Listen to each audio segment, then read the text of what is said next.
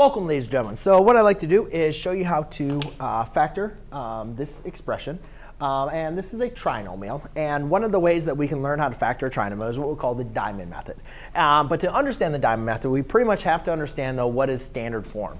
And standard form of a quadratic could be written as ay squared plus by plus c. Okay, so when going ahead and factoring this using the diamond method, pretty much what we do is create an x. Um, which really could be a diamond. I don't actually like doing a diamond, but here we go. There's a diamond. Um, I actually just like using the X method, but it's called the diamond method.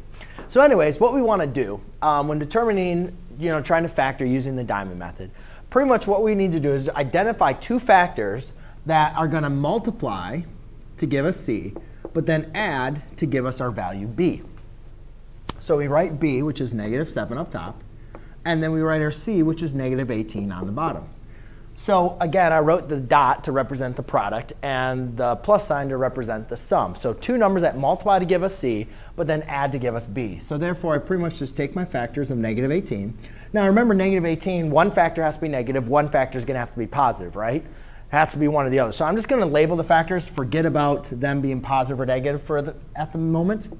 So I'll start from 18 times 1 6 times 3, 9 times 2. And those are going to be all the factors uh, for 18.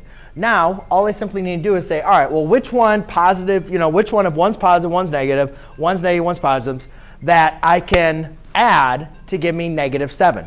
Because they all multiply to give me 18, right? Or if one's negative, to multiply to give me negative 18. But which one of them, if one's negative, one's positive, would add to give me negative 7? Well, if I have a negative 9 and a positive 2, that will work. So I just write negative 9 here and positive 2 there.